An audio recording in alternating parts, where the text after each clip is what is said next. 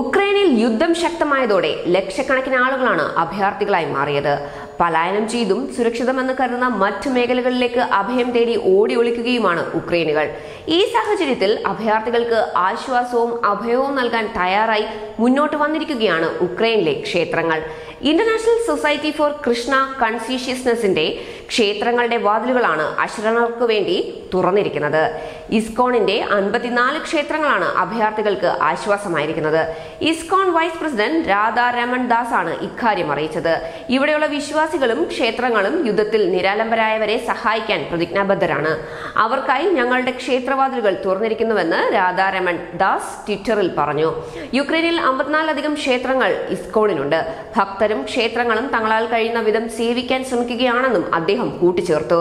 എല്ലാ ഭക്തരും അമ്പത്തിനാല് ക്ഷേത്രങ്ങളും ഇവിടെ സുരക്ഷിതരാണെന്നും ഈ പ്രതിസന്ധി ഘട്ടത്തിലും ഇസ്കോൺ ഭക്തർ സ്വന്തം ജീവൻ പണയപ്പെടുത്തി മറ്റുള്ളവരെ സേവിക്കുന്ന തിരക്കിലാണെന്നും രാധാരമൻ കൂട്ടിച്ചേർത്തു.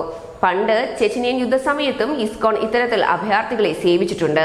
ആരോരുമില്ലാത്തവരെ ഒറ്റപ്പെട്ടു പോയവരെ കണ്ടെത്തി പരിചരിച്ചിട്ടുമുണ്ട്.